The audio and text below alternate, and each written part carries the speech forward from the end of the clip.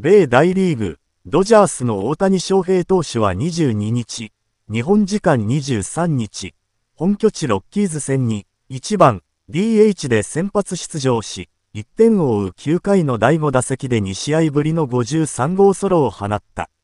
土壇場で同点に追いつき、チームは続くムーキー・ベッツ外野手の19号で6対5のサヨナラ勝ち。試合後のベッツは大谷の働きについて問われ、だから7億ドルの契約をしたんだと驚きはない様子だった。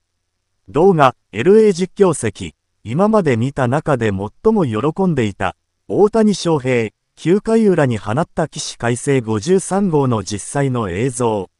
4対5と1点を追う9回先頭で打席に立った大谷は、ロッキーズ右腕春防戦がカウント2月1日から投じた4球目、低めのスプリットを宇宙間スタンドへ運んだ。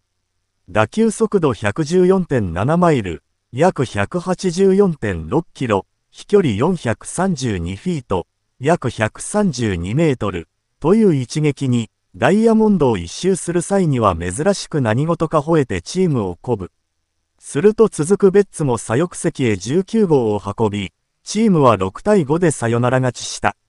米カリフォルニア州地元局、スポーツネットロサンゼルスは試合後のロッカールームの様子まで中継。この中でベッツは翔平が本塁打で我々にエナジーをくれたと大谷を称えている。さらに、大谷は最近のドジャースをどれくらい牽引しているかと問われるとそれは明らかでしょ。みんなわかっていると思うし、チームを牽引しているのは、最近だけじゃなくてずっとだと思う。